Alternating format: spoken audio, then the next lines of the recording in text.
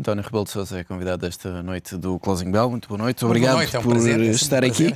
Comecemos por esta visita, mais uma visita da Troika a Portugal. Este é o momento para fazermos os tais reajustes de que fala o Primeiro-Ministro do plano Bem, de resgate? Naturalmente, a troika, a troika vai começar por uh, uh, ver qual, uh, como, é que, que tem, como é que tem evoluído a execução orçamental. É um primeiro aspecto importante. E se de facto as receitas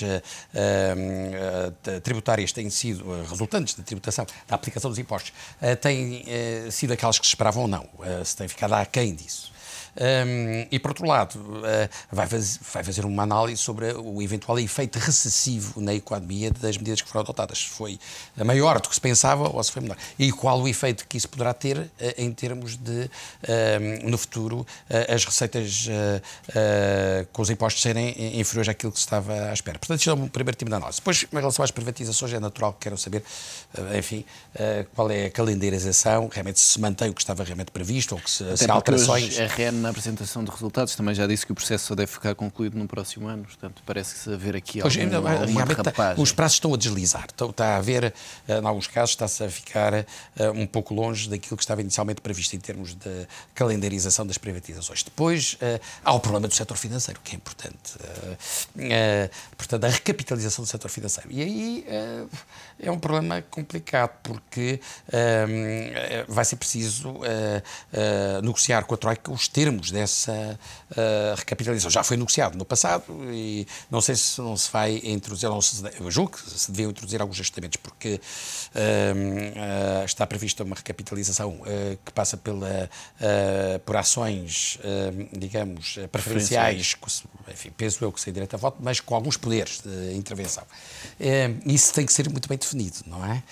porque eu acho muito bem que não haja distribuição de dividendos durante o período da intervenção e que na, na distribuição de dividendos, enfim, as ações preferenciais sejam, como o próprio nome indica, realmente preferidas, mas um, nomear um administrador, o administrador tem que ficar claro se é executivo ou não é executivo. Eu acho que não deveria ser executivo, não é? Ricardo Salgado hoje já falava num, num, numa entrada do, do Estado na banca com golden shares com o Golden Shares. Pois é, mas quer dizer, andou-se a acabar com o Golden Shares, realmente noutros setores, para agora reintroduzir-se as Golden Shares. Vamos passar por esta situação algo caricata de o, o governo mais uh, liberal que tivemos nos últimos tempos ser o governo que uh, vai estar confrontado razões que escapam uh, à própria vontade, à vontade própria desse governo, vai, ficar, vai estar confrontado com um Estado com uma grande dimensão, quer por, via da carga fiscal, que vai ser a maior dos últimos tempos, quer também com a, intervenção do sistema financeiro.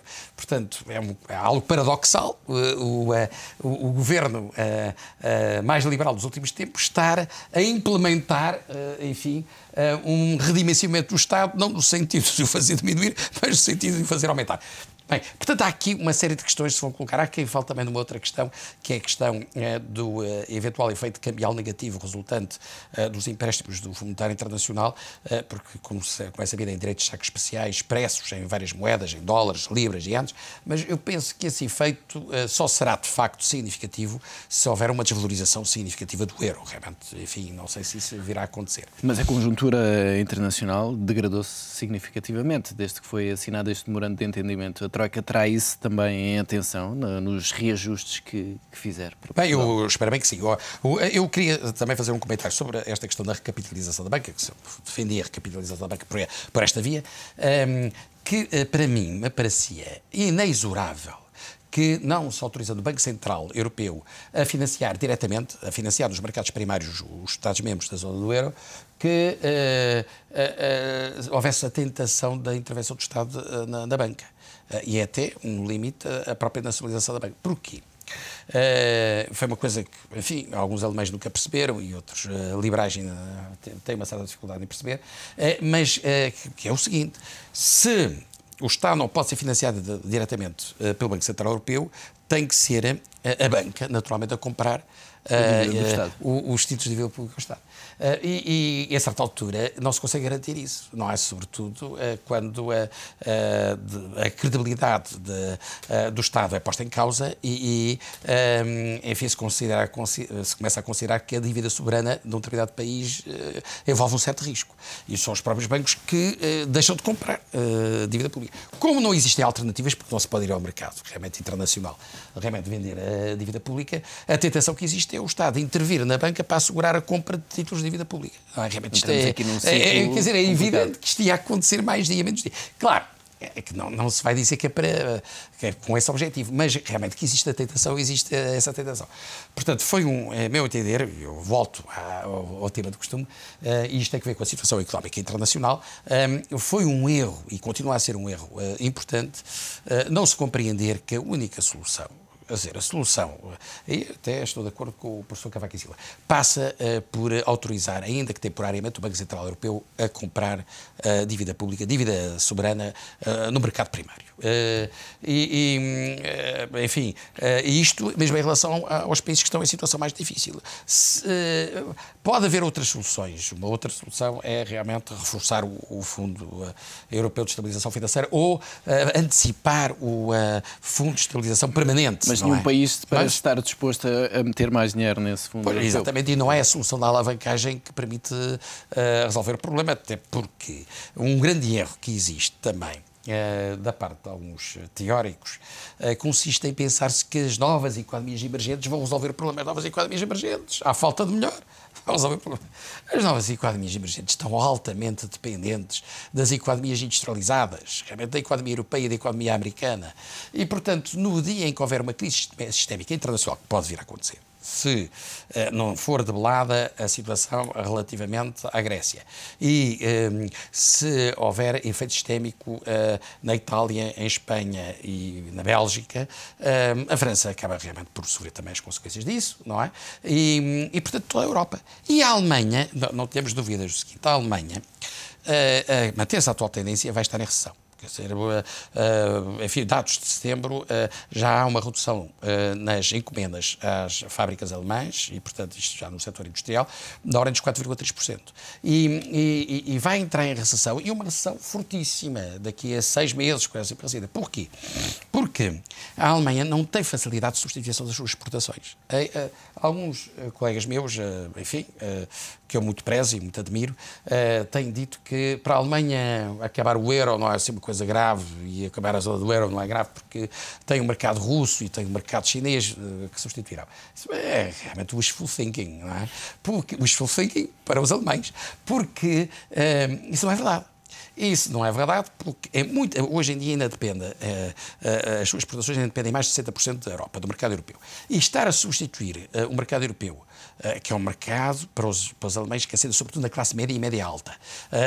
Pelo mercado russo ou pelo mercado chinês, em seis meses ou em 12 meses, é perfeitamente impossível. Será possível talvez a, a prazo de 5 anos ou a prazo de 8 anos ou 9 anos. De, depois, há aqui um problema grave. É que, enquanto as economias periféricas podem ainda continuar a exportar cortiça, como nós, enfim, não digo batatas, que isso não exportamos, mas, quer dizer, produtos do setor primário, vinho e tal, eh, os alemães, aquilo que têm para exportar no essencial são produtos sofisticados, são produtos de capital intensivos, que eh, de facto têm que ser canalizados para a classe média média alta europeia. Se há uma crise grave realmente esses mercados vão sofrer as consequências e eles não têm hipótese de exportar esses produtos realmente mais sofisticados, mais capital intensivos.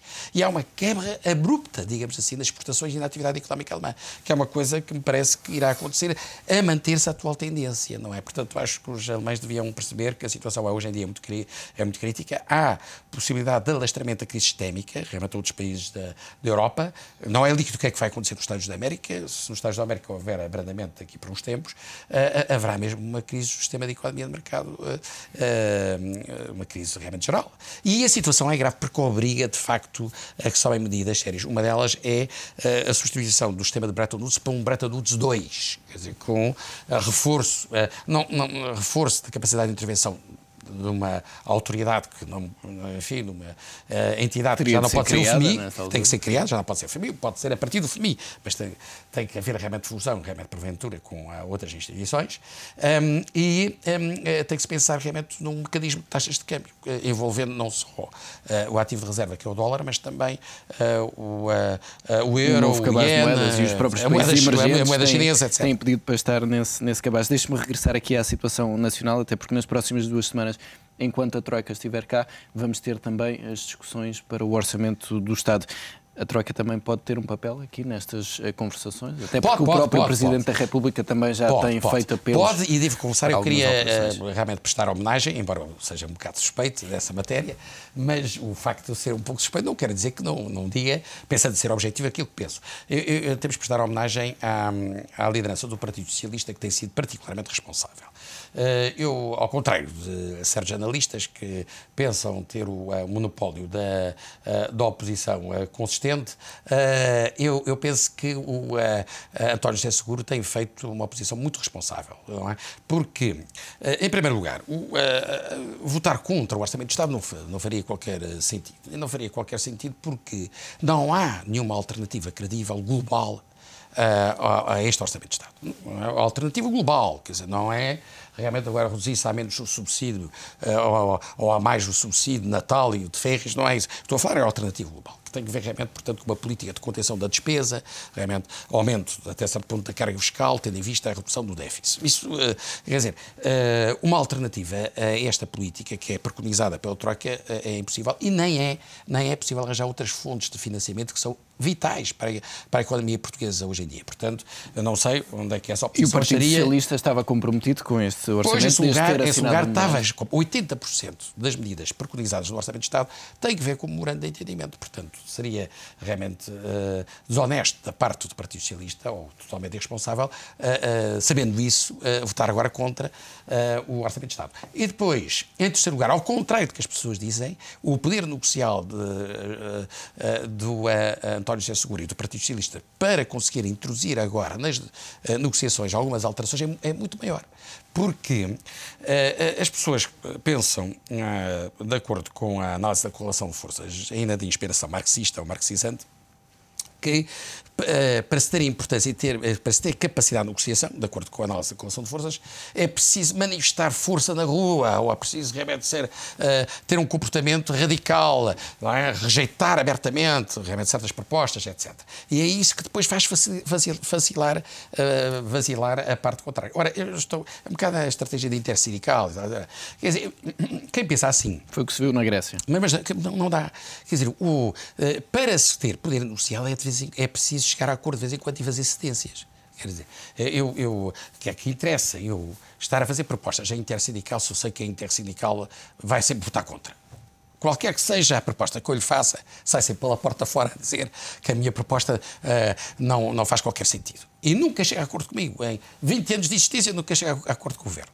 Em 30 anos de existência nunca chegou uma vez a acordo de governo. Então, vou, vou, negociar para quê? Posso, vou fingir que vou negociar. Como é Mas neste orçamento Agora, acha portanto, que é a melhor estratégia tipo o GT, que se chega a acordo de vez em quando, não é? Quer dizer, e, portanto, isto credibiliza a oposição, o facto de realmente haver a abstenção, e cria expectativas em relação ao futuro de possa haver alguma colaboração e, e alguma zona de entendimento. Porque se agora fosse o voto contra, as expectativas em relação ao futuro, em termos negociais, eram nulas, porque a situação vai ser para gravar. Portanto, a, a, a, negociação faz não só tendo em conta a correlação de forças uh, atuais, mas também futuras e tendo em, em, conta também expectativas futuras de negociação. Ora, realmente estar a votar contra agora é anular as expectativas futuras, uh, quaisquer expectativas futuras de negociação. Mas há margem para alterar significativamente este documento e aquilo que o Partido Socialista tem uh, pedido é para que se corte apenas um dos subsídios à função pública. Será que é possível desencantar uma Bem, receita equivalente ou um corte na despesa equivalente a esse valor? Uh, há aqui uh, aspectos que são uh, importantes. Eu penso, o António José Seguro tem dito que existe margem para isso. Eu, de facto, embora esteja de acordo com a estratégia e, e, e só tenha razões para elogiar as posições que ele tem vindo a assumir, tenho dúvidas que exista, para, para ser sincero. Um, tenho muitas dúvidas. Evidentemente que se me disserem que a troca está na disposição como eu tenho defendido, de prolongar, de alongar o período de ajustamento, não sendo tão exigente como tem sido até agora, já será porventura possível. Ou se porventura a recessão não fosse tão grande na economia portuguesa como aquilo que se prevê, Uh, talvez pudesse também uh, uh, não ir tão longe em termos de corte da, dos subsídios. Aí eu penso que as possibilidades são muito, muito reduzidas, porque eu estou convencido que a recessão vai ser maior do que aquilo que se prevê. Portanto, um, enfim, vamos ver, depende agora da negociação com a Troika, pode ser que a Troika esteja aberta realmente a essa, por exemplo, ao, ao deslizar no tempo, realmente, da, do ajustamento a fazer em termos orçamentais, se isso acontecer, talvez seja possível. Mas diga-me ainda em relação a este orçamento e esta avaliação da Troika, Portugal tem conseguido fazer aquilo que era o grande objetivo, que era desempenhar o papel de bom aluno? Eu penso que uh, Portugal tem desempenhado o papel de bom aluno no que respeita à questão uh, da, da atuação uh, ao nível de cortes de algumas despesas, por exemplo, dos salários da função pública, tem realmente um certo significado. Uh, em termos de agravamento fiscal, que era indispensável e tomou uh, o governo nessas medidas que são bastante impopulares, mas não tem sido de facto bom aluno uh, no que respeita à redução dos chamados consumos intermédios na, na, administração pública e à reforma da administração pública, à realização das grandes reformas que foram prometidas, ou pelo menos não tem apresentado medidas que apontem nesse sentido. E, e, enfim, uh, também no que respeita às privatizações e à calendarização das privatizações, não tem sido bom aluno. Uh, e depois há coisas que não dependem de Portugal, que mas isso é, é, outra questão, que mesmo que uh, nós tivéssemos o melhor governo deste mundo, mais incorruptível, uh, ficou constituído só por génios, por, por sábios, tal como há está... Há fatores que não se controlam. É, é, evidente, e tal como está a evoluir a situação na Europa, jamais conseguiríamos, mesmo com esse governo, inverter o ciclo da crise. E resta-nos agora esperar então por esta avaliação da Troika António Rebelo de Sousa. Muito obrigado pela Foi um grande prazer, como é hábito, e até sempre.